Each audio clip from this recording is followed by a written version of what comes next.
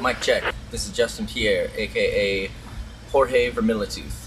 Um, when I thought about it, um, there's a lot of things that I think bug me just about the human race in general. I know that there's a lot of you know animal testing and a lot of the the videos and stuff that I saw way back in the day were horrible of you know just the cruel ways that that they you know pretty much slowly murder these animals, and that's something that I just think is wrong. It, it's not it's not very fair for the animals because they have no way of you know fighting back.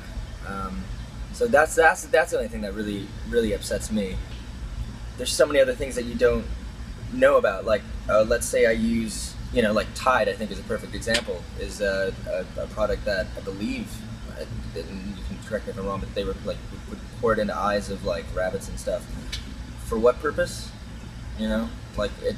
I don't know. That just seems it's just torture and it just doesn't make any sense. I guess what I'm saying is there's a lot of research that everybody needs to do to find out what these products are and who these people are that are doing this stuff. You know, if you really want to uh, inflict change.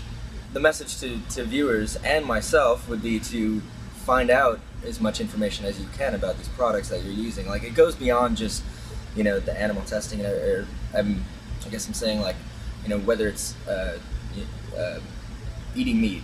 I guess it goes beyond that and, and just to you know products you use like i'm sure there's a lot of people out there that never even thought that the shampoo that they use is is you know being used on animals. One of my favorite books one of my favorite movies to kill a mockingbird. And there's this straight line in it is about like in order to really understand someone you've you've got to you know get into their skin and walk around in their shoes. And i think that that can you can relate that to animals and just be like you know would you like to be chained up to a fence for you know 12 hours a day or, or just, you know, your whole life and just sit there? Like, what's the point? Um, I think that, you know, animals and, and just, and, I mean, we're animals too. So it's like, how would you want, um, you know, how would you want to be treated? I think, I don't know, I don't know if I want to say the word humanizing it because it's, it's not the point. I think that you just have to look at, you have to be objective and you have to look at, or empathize, I think, empathy try to put yourself in another animal skin and walk around in it for a while.